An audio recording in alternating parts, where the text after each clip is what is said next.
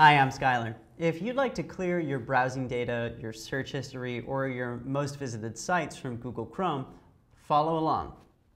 All right, here I am in Chrome. The first thing I'm going to do is clear my browsing history. So I'll click the menu up here, then go to Tools, and click Clear Browsing Data. Settings pop up, and it asks how much of that data do we really want to clear? All right, you see the window which says clear browsing data, and you can choose exactly what gets deleted. Uh, we're going to do from the past hour just for fun, but we could also do to the beginning of time. Oh, heck, why not? Clear browsing data.